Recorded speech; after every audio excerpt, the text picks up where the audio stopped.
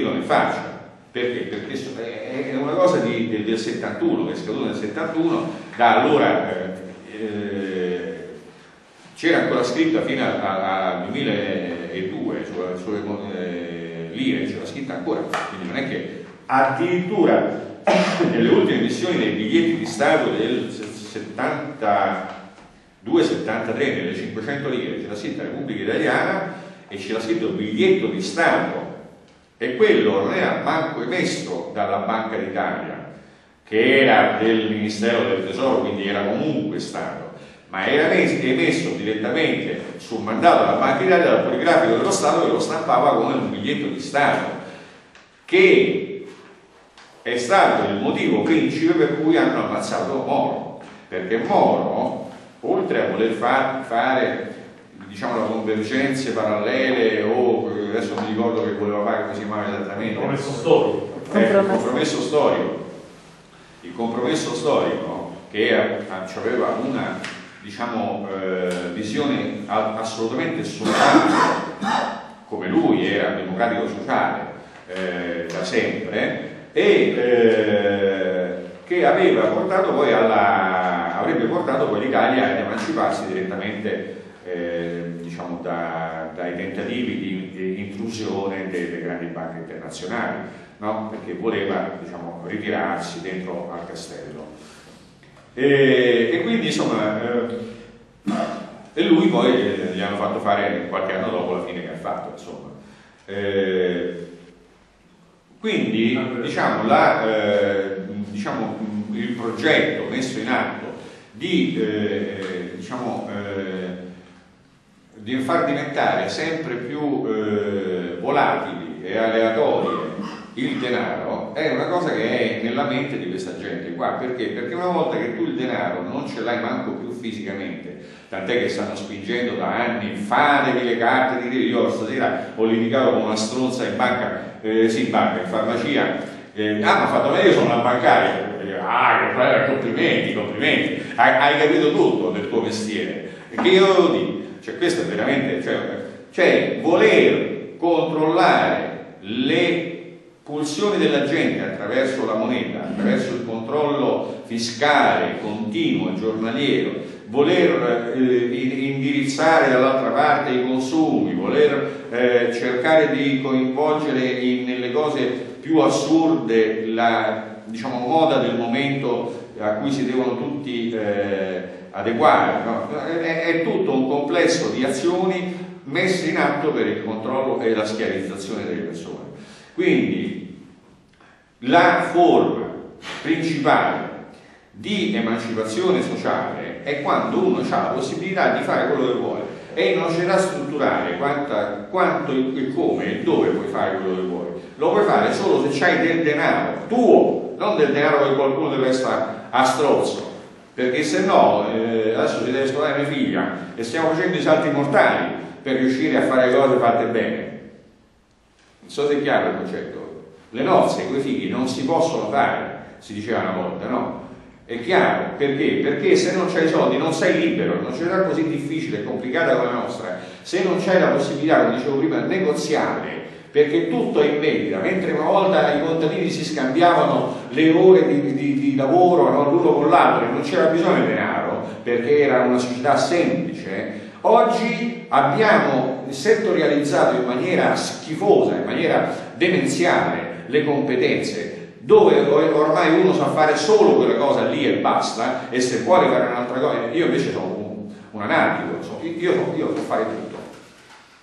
Te, teoricamente si fa anche una bomba atomica, su serio, eh? quindi eh, volendo potrei fare una bomba atomica. Eh, se domani bombardano Formello lo so perché. Tu lo sai, no? Ecco, lui lo sa, non è che lo dico per scherzo. Capito? Io potrei teoricamente fare, avendoci ovviamente il plutonio, il plutonio. mi serve almeno un chilo, mezzo chilo, mezzo chilo del plutonio. Basta quello. Sì, Fai la bombetta. Cioè, posso fare una bella bombetta che ammazza 300.000 persone volendo, insomma. Eh. Quindi eh, se uno vuole le cose si possono fare, ma ci vogliono competenze. Oggi le competenze sono oramai talmente settorializzate, splittate, per cui ognuno fa quella determinata cosa e sa fare malamente, malamente quella cosa lì. Invece nel, un uomo è un uomo quando è libero anche eh, nelle sue azioni. A me mi si rompe la macchina per strada? Io la riparo, capito? Magari la notte no perché fa buio, non ci, non ci vedo, ma la mattina poi la metto a posto, capito?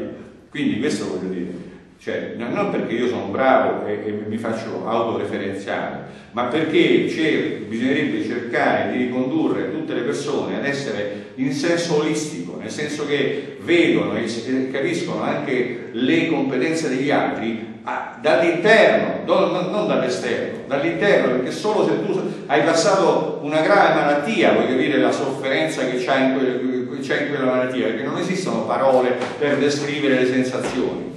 Le sensazioni si descrivono con parole che però non descrivono l'entità, il volume, la, la dimensione, la forza di quella sensazione.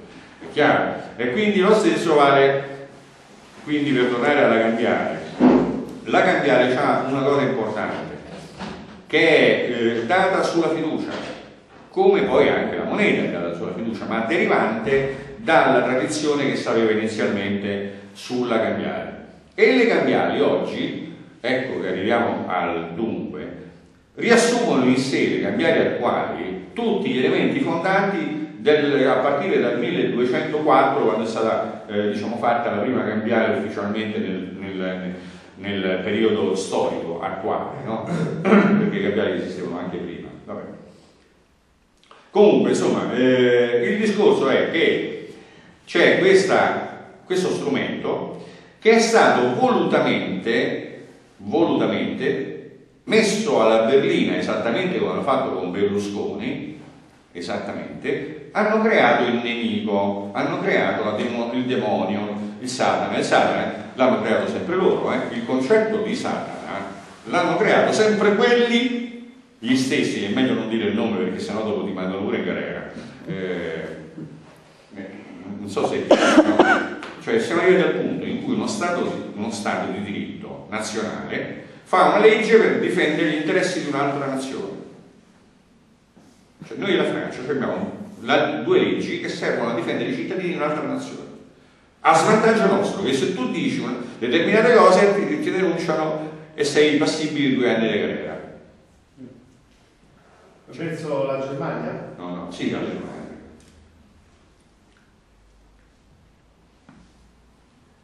Diciamo Germania. Capito? Eh, siamo a questo punto. Eh, dico così perché stiamo riprendendo, ma chi, chi, chi, chi ascolta ha capito perfettamente, insomma. No? Allora, quindi dobbiamo tornare a quei contadini che si facevano scambio in fiducia. Dobbiamo tornare a cercare di credere nelle persone.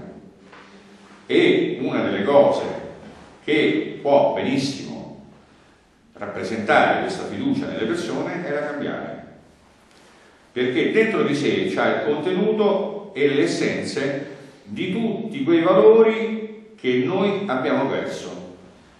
Cioè la fiducia negli altri è poi l'appropriazione del credere nelle capacità dell'altro.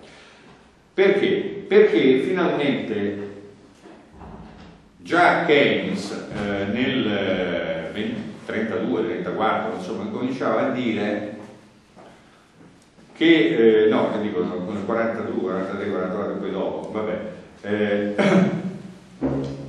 che quello che conta, non solo lui, lo diceva anche Proudhon nel 1832, non è il valore in sé, ma la origine, la fonte di quel valore. Allora, la fonte del valore, fino a che esisteva la moneta metallica, eh, in metallo prezioso, in argento, in oro, quello che era, era la moneta stessa che era controvalore del valore che io compravo. Di qua c'era il frigorifero, di qua c'erano, che ne so, eh, 100 dollari d'argento.